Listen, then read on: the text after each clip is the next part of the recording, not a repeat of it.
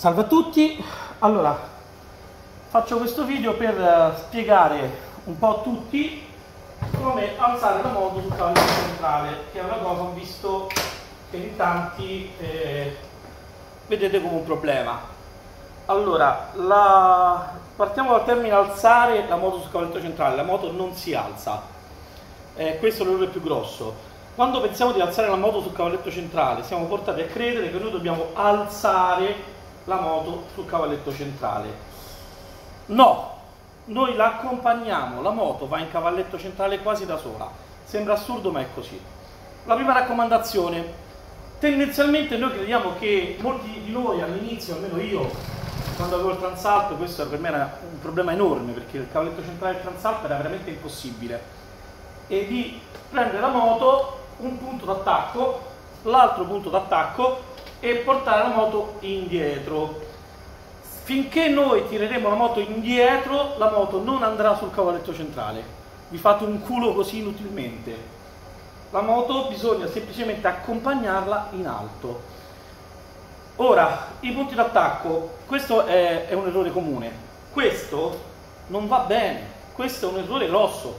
Qui avete già un punto, un punto di attacco alto. È difficile esprimere una forza da questo punto.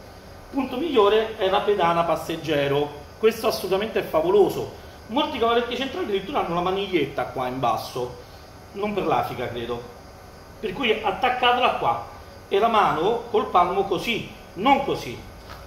Quando la prendete la moto, così, non la prendete così, ma così.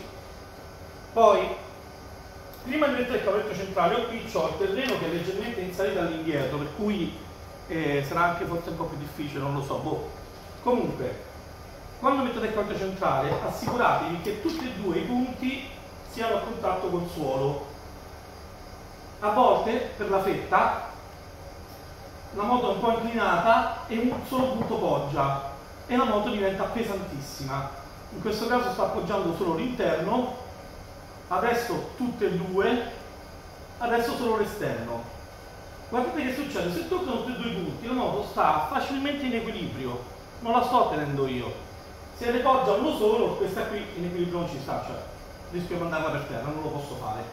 Per cui accertatevi che tutte e due, dondolate la moto, inizialmente provate, e sentite che tutti e due i punti poggiano. Io quando sono in strada su asfalto ci faccio caso, ci penso, ma sono tutti e due poggiati, ok alzo come dicevo i punti della moto è la pedana passeggero. Questa mano qui non fa quasi niente.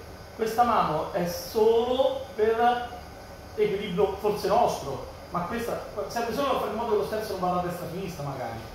Guardate senza nessuno sforzo aspettate il centro laterale non faccio male. Senza nessuno sforzo io riesco ad alzarla nel tracciamento centrale.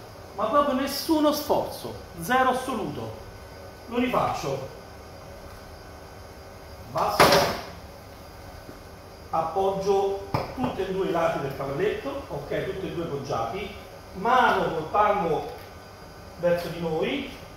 E guardate senza fare sforzo appena appena la moto sale.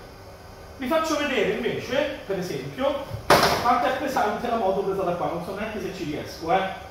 Ora ci provo però se la prendo qua Ecco, tanta differenza, tantissima. Per cui ve lo faccio vedere l'ultima volta, provatelo così, non avete nessun problema a mettere al cavalletto centrale.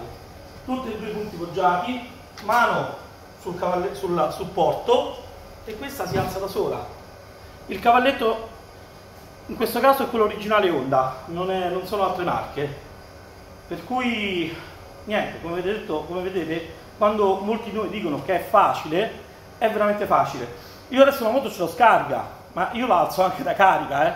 cioè anche quando sono in viaggio per 15 giorni con tutti i miei bagagli, io la alzo con facilità. Certo, non così tanto, ma comunque con facilità. Spero sia stato utile.